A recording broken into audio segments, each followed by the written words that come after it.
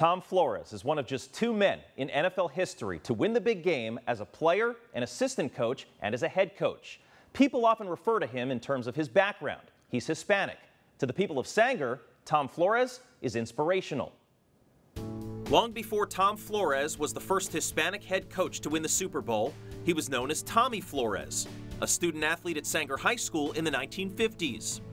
Flores played three sports baseball, basketball, and football. He was Sanger High School's Senior Athlete of the Year in 1954. He grew up around football, and he just he's you know he played it, he coached it. Uh, he was an assistant. He came through the ranks. I don't remember him really playing, but I remember him when he became a a, a coach of uh, the Super Bowl champion Raiders. I thought that was like pretty amazing. And then, uh, you know, sure enough, he would come visit and everything. We said, hey, we, you know, we know that guy. He's from Sanger. So's Chuck Shadan, Sanger's head football coach for 27 years, 1990 through 2016. Every single one of his teams played its home games at Tom Flores Stadium. We say, you know, you're playing at Tom Flores Stadium.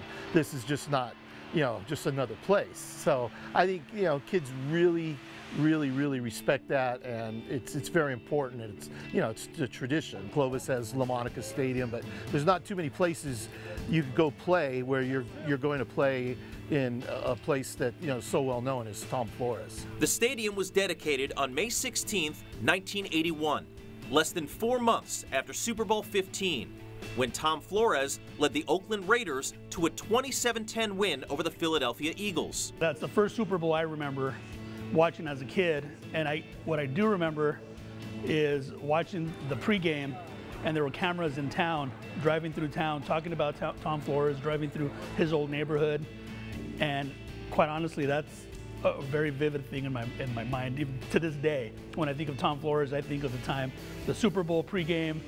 Uh, cameras in my town, my little town here, you know, talking about Tom Flores. Where I grew up was uh, the opposite side of him but it's what we would consider to be the poor section of the town.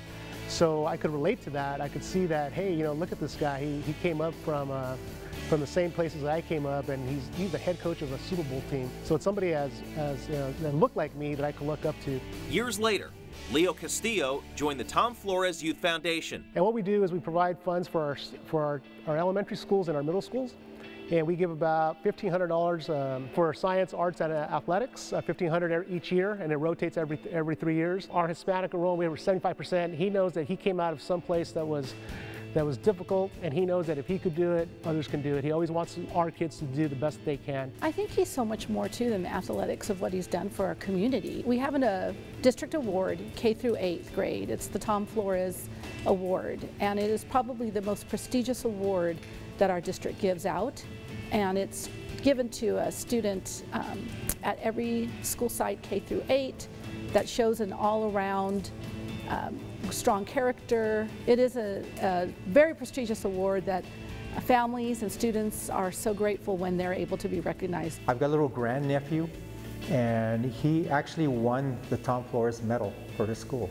And he won that little medal, and it was just so inspiring for him to think Tom Flores, you know, that he can wear that little medal and that he represents what Tom Flores represents. Which is more than the 92 touchdown passes Tom Flores threw in his six seasons as quarterback of the Raiders. More than the 105 games he won as head coach of the Raiders and Seahawks. I'm Hispanic. You know, you take a look at my color, and, and back in the back in the 60s, the 70s, and the 80s, there was not that many uh, role models. The role models weren't there. The people weren't there uh, for you because people had to break break those barriers, had to break those barriers. And Tom broke those barriers. Tom did it because of his ability and the kind of drive that he had. He broke those barriers for so many of us. He was very proud of being from Sanger. He was proud of what the foundation did in Sanger. I don't, I don't mean to denigrate uh, Al Davis, but I think he got a lot of credit for what Tom did. Tom Flores, the Iceman. When I first was getting to know him, uh, I was like kind of intimidated or anything, but if you get to know him, he's just he's just a guy from Sanger that you know, uh, went on a great path. He's the Iceman, yeah, and he, uh, he, he was just he's a cool customer, and that's kind of how he is. He, he's just a really uh, cool, laid-back guy, but obviously a great football mind. In the near future, the city of Sanger is planning two ways to honor Tom Flores. One of the streets in town is going to be named Tom Flores Boulevard. And thanks to a donation from a car dealership, there will soon be a statue of Tom Flores.